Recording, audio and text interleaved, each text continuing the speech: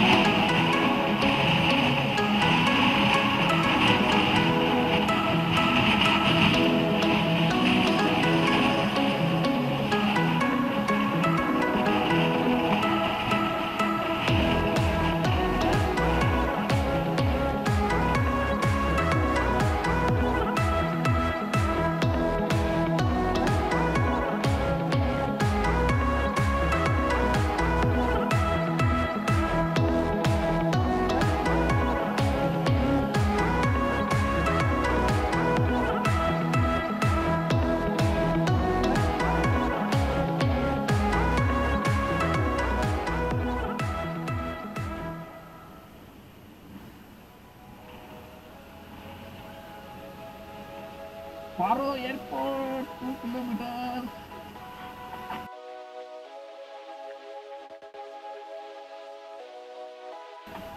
Hah?